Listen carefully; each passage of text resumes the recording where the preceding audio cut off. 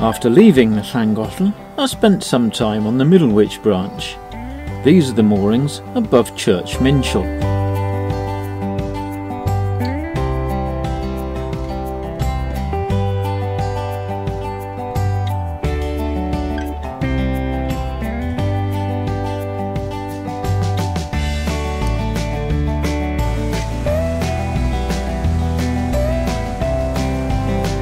When the second lockdown came, I was back on the Shroppie at Market Drayton.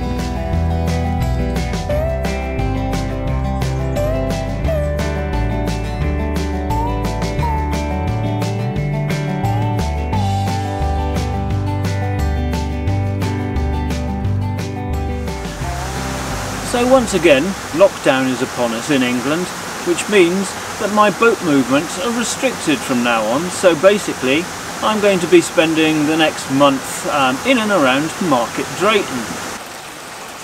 And I was going to bring you a cruising video this week of my trip down uh, the Montgomery Canal, but because the scenery here um, and the time of year is just so amazing, I thought I'd just put together a little autumnal scene for you.